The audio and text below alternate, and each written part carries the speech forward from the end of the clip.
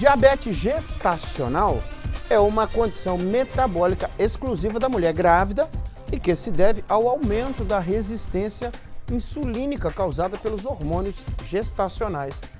Essa resistência pode gerar hiperglicemia, que é o aumento do açúcar no sangue. Né? O acompanhamento médico e nutricional é indicado para corrigir os níveis de glicemia nessa fase da vida. E tem uma reportagem importante sobre isso aqui, ó. Pode balançar. Henrique, de cinco meses, nasceu de parto cesárea. O nascimento do bebê foi antecipado por causa da diabetes gestacional da mãe, descoberta no início da gravidez. Eu descobri com o exame pré-natal solicitado pela minha médica, que para fazer acompanhamento mensal mesmo. Eu não tinha nenhum sintoma. Após o nascimento, Henrique precisou ficar internado na UTI neonatal por uma semana. A maior preocupação da mãe era se a doença deixaria alguma sequela no filho. Foi assustador, assim, no início, né? Mas depois eu tive que controlar um pouco mais minha alimentação, é, tive que faz, fazer a medição, medir a, a, glicemia cinco vezes ao dia para estar tá monitorando, anotando a, os valores para estar tá passando para minha médica.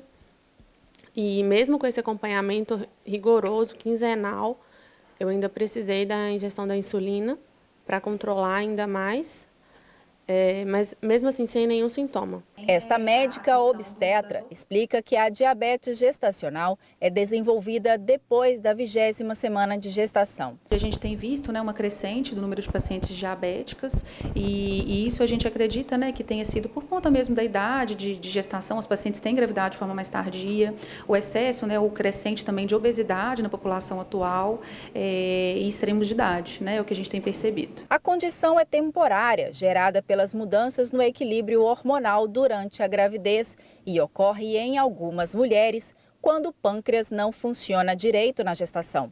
Sobrepeso, hipertensão, histórico familiar de diabetes e gravidez em mulheres acima de 35 anos são fatores de risco.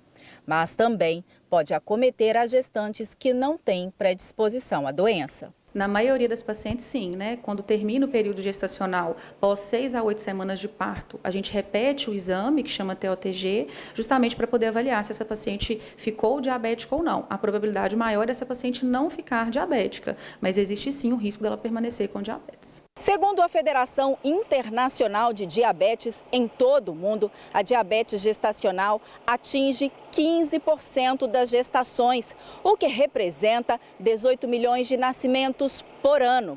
No Brasil, dados da Sociedade Brasileira de Diabetes apontam que a doença acomete 18% das gestantes.